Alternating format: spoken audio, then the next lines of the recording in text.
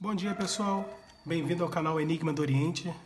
A simpatia de hoje é para quebrar orgulho, para fazer a pessoa sentir saudade. Vamos utilizar sal grosso, um papel sem pauta, a foto da, do ser amado da pessoinha que você quer e um lápis.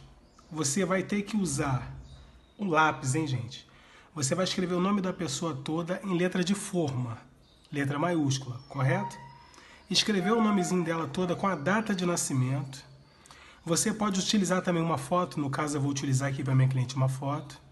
Vamos pegar esse papel com o nome escrito, vai colocar no fundo do copo, tá? Vai pegar sal grosso, vai colocar sal grosso, ó, que maravilha.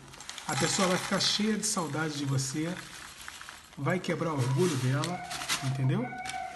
Você vai pegar Agora que você botou sal grosso, você vai colocar pelo meio de água, entendeu?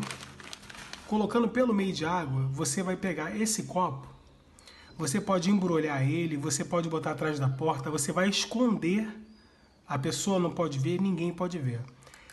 Em 24 horas ou 48 horas, essa pessoa vai ficar doida de saudade de você, na verdade. Vai ficar fazendo de tudo para entrar em contato, ela vai te procurar, ela vai fazer o que for para poder falar com você. Essa simpatia você só não pode deixar muito tempo, porque senão você vai enfraquecer total essa pessoa. Isso não é legal, né? ainda mais de quem a gente gosta. Então o que acontece? Dando resultado, você já tira, já desfaz tudo. Se a pessoa não entrou em contato em dois dias, três dias, o que, que você faz? Deixa uma semana. Ela vai fazer contato tá? Não tem como não fazer. Essa simpatia é antiga, é testada e aprovada. Pode fazer que vocês vão gostar.